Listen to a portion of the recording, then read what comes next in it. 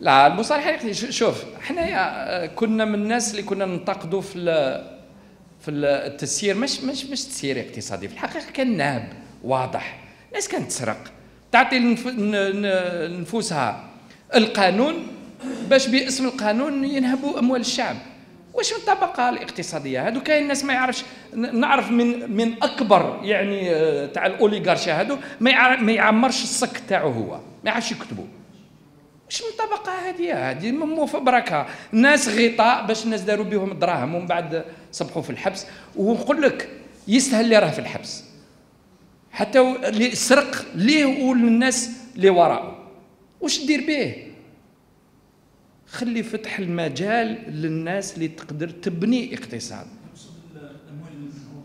الأموال المنهوبة لازم ترجع. لازم نواصلوا في هذا العمل. أما الناس اللي سرقت تتحاسب تتحاسب. علاش واحد يسرق يعني كيلو بطاطا يروح للحبس؟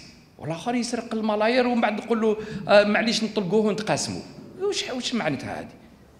لا يتحاسبوا. لأن شوف بلادنا المشكل تاعها البعد الأخلاقي. ولا نحبوا نبنيو دولة قوية وشغل كلي آه، قال خلينا ننساو الماضي ونعاودوا ما تقدرش تعاود لأن الدولة تتبنى على المبادئ ما تتبناش على التفاهمات والاشتراك في الجريمة. خليونا نبنيو دولة تاع الصح. ضاع مليار زوج ملاير ربع ملاير ضيعوا لنا بالك 200 مليار دولار. ومن بعد يعني على على مليار ولا زوج نعاودوا نبيعوا الأسس المبدئية تاع دوله ما تقدرش. درك إحنا شخصيا أنا ما عنديش كره للناس هادو.